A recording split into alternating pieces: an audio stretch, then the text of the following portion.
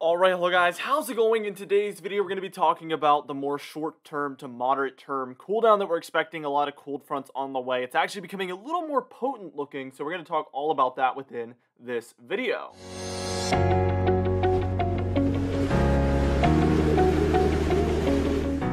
Be sure to smash that like button, leave a comment down below, and subscribe for more weather-related content. For today's comment of the day, I want to know, after this cooldown enters into the United States, do you think that we're going to deal with mostly cold temperatures all the way through the end of September? Let me know in the comments down below, and I'll be picking one of those for tomorrow's video. Let's get straight into this video, and first things first, we're taking a look at the day one temperature anomalies, and as you can see, we need that cooldown. Look at this. Hot, basically, east of the Rockies. I mean, for the most part, we do have some near normal conditions down there for Florida and Alabama as well, as well as some regions there in Texas as well. Uh, but outside of that, it's mostly warmer than normal, especially there in the reds, and then even those grays, especially there. That's where we're about 15 to 30 degrees above normal up there in Montana, North Dakota, South Dakota, areas like that. Notice along the western seaboard there and, and inland portions of those western states, along the west coast of the United States and even the west coast of, of Canada up there, that is where we have a negative PNA set up. That is those cold, cold, cold temperatures that are set up over those regions.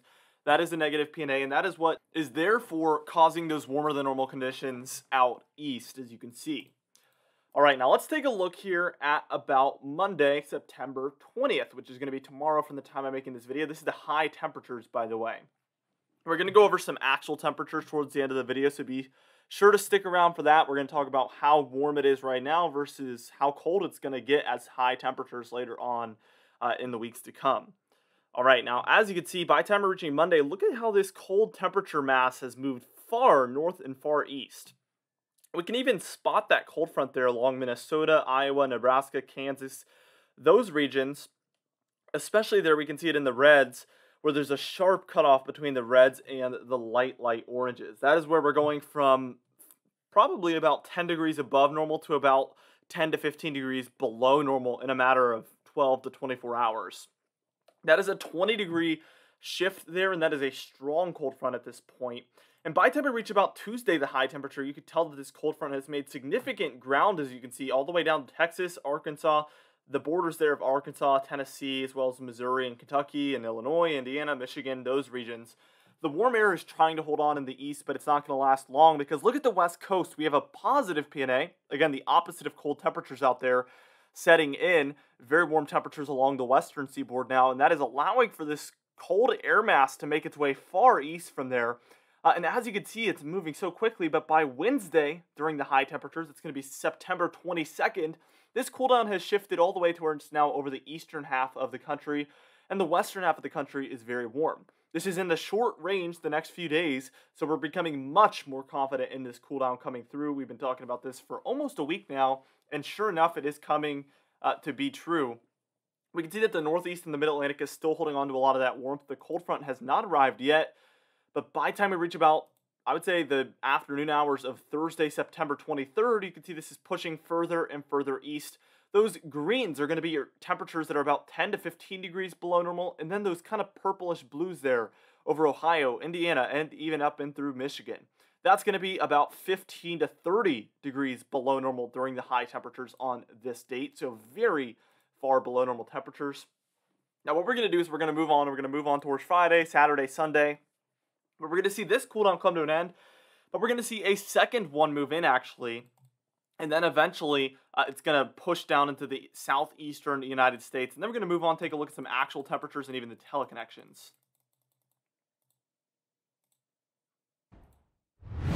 All right, now here we are taking a look at Friday, September 24th. You can actually see the first and the second cooldown here by this point. We see a lot of those colder temperatures are around the southeastern United States, up through the mid Atlantic, even in through portions of the Northeast. Uh, but we also see Minnesota, the Dakotas, and Montana dealing with that second cooldown that's coming straight from Canada. This one's a little bit more of a classic Arctic blast because it's blasting down from the Arctic regions. And by the time we reach the very next day, Saturday, September 25th, and it's going to be about 2 p.m., you can see that we do have those very far below normal temperatures there for the Dakotas, Minnesota, Wisconsin, even the UP of Michigan there. And then we see a lot of that going on for Kentucky, Ohio, and Pennsylvania as well. By the time we reach Sunday, this is going to be September 26th. So we can see that these greens are kind of scattered about, but we mostly see those darker blues and through the very first shades of the darker greens. It's going to be anywhere from about 7 to 9 degrees below normal, which is a significant departure from your normal, might I add. Uh, but we also see um, that there is a lot of warm air to the south and to the west of it, and even to the east of it. The east of it isn't going to last long because, as you can see, by Monday, about a week from tomorrow, September 27th, we could see those colder than normal temperatures have now reached the coast again for a second time around. By the time we reach Tuesday, September 28th, again, this is at about maybe 1 or 2 p.m., it's become a lot less potent, but it is still around. This is going to be about 1 to 5 degrees below normal, so very close to your normal temperature, which will be quite pleasant. But this does seem to last pretty much through the end of September. All right, now let's move on and take a look at some actual temperatures. This is the high temperatures expected today, and we've been dealing with a lot of hot temperatures, mostly 80s here in the eastern half of the country, even up through portions of Wisconsin and Minnesota, which is far above normal temperatures. We see mid to upper 80s there for Virginia, North Carolina, and South Carolina, as well as areas in Illinois, Indiana, and Ohio as well. Now, by the time we reach Tuesday, this is going to be September 21st, only two days from now, we can see mostly 70s and 60s now, especially up there in uh, Minnesota, Wisconsin, Iowa, Illinois. We've seen a massive flip from the upper 80s and lower 80s now to the lower 70s and upper 60s. Uh, even the northeastern United States is only dealing with the lower 70s, mid 70s in some regions. Uh, and then the mid Atlantic, it hasn't really switched yet. But by time we reach about Wednesday, September 22nd, we can even see some 50s moving into Ohio, Indiana, Kentucky, Tennessee, even. Uh, the East Coast is still holding on to that warmer air, but the cold front is rapidly uh, heading in. And then by the time we reach Tuesday, September 28th, we could see widespread 60s and 70s, with the exception of the very far southern states. Here, a lot of the northeastern United States dealing with the mid to lower 60s, even upper 50s for some regions. So, yes, very far below normal temperatures on the way. Now, what we're going to do in a moment is move on and take a look at the teleconnections real quick, and then we're going to close out the video. Now, this last portion of the video is for those who kind of wonder why all of this is happening. Uh, and we're taking a look first off at our Arctic oscillation, which has been hugely neutral throughout the summertime, which is very normal. Usually in the summertime, it, it stays very close to that neutral line. And then as we head towards winter, it starts to really move up and down uh, as we head towards the more fluctuating months for this Arctic oscillation. As you can see, the green is the mean average of all of the European ensemble members the blue is the control, and what the blue is going for is to be a little bit more of a realistic scenario and take a little less opinion so that it can be maybe a little bit more what it might look like. The green line is going to be the mean average, and it's probably not going to look like that. It's probably going to be a little bit more up and down. So that's kind of the, the point of that blue line. But as you can see, we expect to be mostly negative. and toward this is the weekly model, by the way. So towards the right hand side of your screen, you're all the way at November 1st. So this takes us all the way through the end of September there. And if you look at the very bottom, it's so small, but kind of towards the bottom left, we can see that Saturday. Uh, it's the second Saturday that we see on there from the very left. And then it says 02. That's going to be Saturday, October 2nd. So basically, from the very left hand side of your screen to that point is the entirety of the rest of September. And we can see that our AO is expected to dive down through the end of September. Now, our NAO, our North Atlantic Oscillation, also causes some colder than normal conditions for the eastern United States in its negative phase. It's also expected to be mostly negative through the 2nd of October as well. And then here is our PNA, Pacific North American Oscillation. I touched on this one a little bit earlier, but in its negative phase, we see colder than normal conditions for the west coast and warmer temperatures out east. In its positive phase, it's the very opposite warmer temperatures for the west coast and colder temperatures in the central and eastern United States.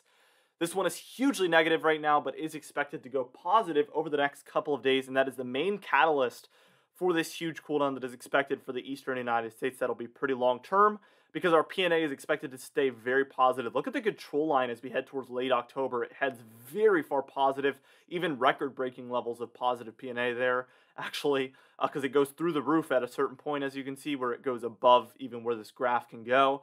Definitely hugely positive looking long term. Anyway, for today's confidence tab, outside of the long-range teleconnections we just took a look at, we're at a 5 out of 6. We're very confident this cooldown is going to happen now. The only uncertainty is how long is it going to last.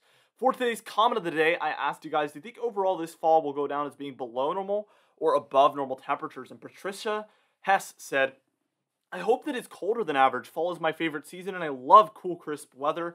So fingers crossed that fall will be cooler. 19 people agree with you, including me. And I really do hope that we have a colder fall overall. It's been a long time, and it is my favorite season as well. I love those, you know, beginning first cold days. I'm, I'm always so excited for my first 70s day, you know, late in the summer, and then my first 60s day uh, into the early fall, and then my first 50s day and 40s day. I love, love, love those kind of milestones that we hit every single year. Very, very exciting stuff. For today's patron highlight of the day, I want to thank you all for supporting the channel, but especially our platinum patrons John Van Bennett, James Wade, Dovi Nagel, Larry LePan, and Donna Carnes.